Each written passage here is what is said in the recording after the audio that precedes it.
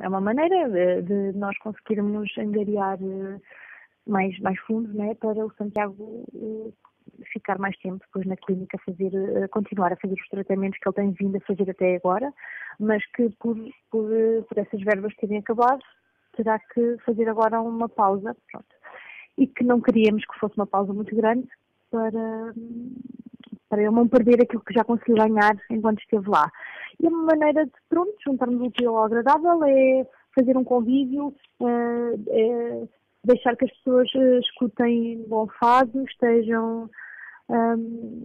pronto, estejam a divertir-se, não é? Pronto, a conviver e é uma maneira de ajudar, é muito importante. Um,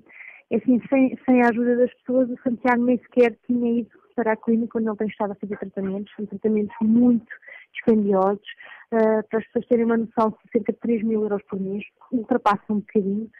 um, mas uh, sem a ajuda das pessoas era impossível o Santiago estar onde ele está neste momento, a ser bem tratado, com excelentes profissionais e, e ter vindo a, a, ter melhoras como ele tem tido. Portanto, é, é imprescindível o apoio das pessoas, de todas as pessoas, e, e também quero ressalvar que, tanto em Ferreira como em Tomar, as pessoas são extremamente solidárias, não tinha essa noção, pronto, como tenho agora.